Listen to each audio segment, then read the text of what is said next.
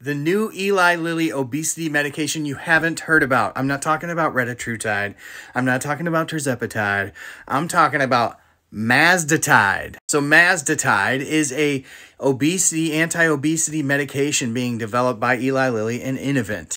And this medication, Mazdutide, has been in clinical trials in China now, phase 2, and shown extremely promising results. In the Mazdutide phase 2 trials over in China, people lost over 18%, almost 19% of their body weight in 48 weeks.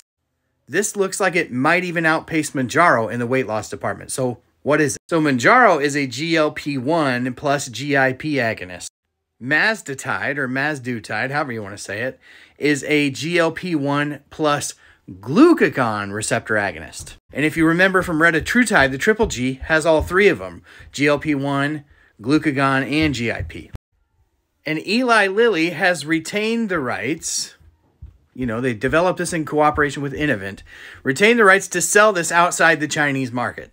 Yet another amazing advancement in the fight against obesity from our friends at Eli Lilly. Let me know what you think in the comments.